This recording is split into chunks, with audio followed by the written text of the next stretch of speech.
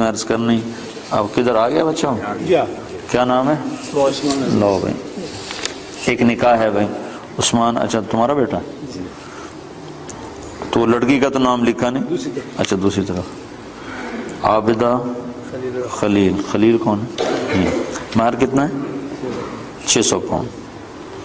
अच्छा भाई। अउज़ुबिल्लाहिमिनश्शैतानिर्रजीम बिस्मिल्लाहिर्रहमानिर्रहीम या अय्युहन्नासु इन्ना खलक़नाकुम मिन ज़करिन व उन्सा। वजअलनाकुम शुबन व क़बाइल तआरफू इन अकरमकुम अतक़ाकुम वक़ाल नबी सल्लल्लाहु अलैहि वसल्लम आदमुन निकाह बरकतन हाँ भाई उस्मान अज़ीज़ आबिदा खलील रहमान बिन खलील रहमान को 600 पाउंड महर के एवज तुम्हारे निकाह में दिया तूने कबूल किया कबूल किया मैंने कबूल किया समझ आई मैं क्या कह रहे हो तुम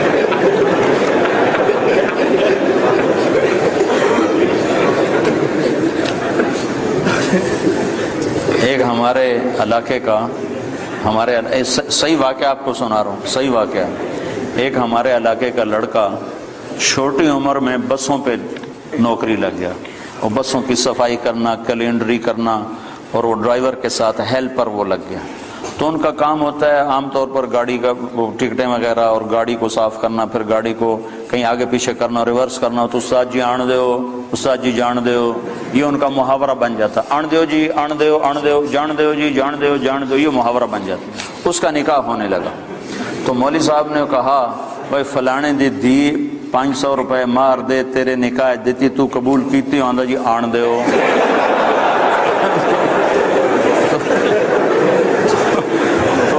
भाई बैठा था। उसका भाई बैठा तो उसने उसको कौन नहीं मारी? तो वो कहने लगा, जी, जान दे हो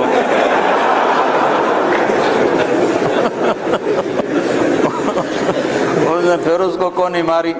उस बेचारे को जैसे इसको समझ में नहीं आ रहा था, मैंने क्या कहना है? तो उसको समझ में नहीं आया तो कहने लगा अच्छा जी जिमें सारे की सलाह होवे।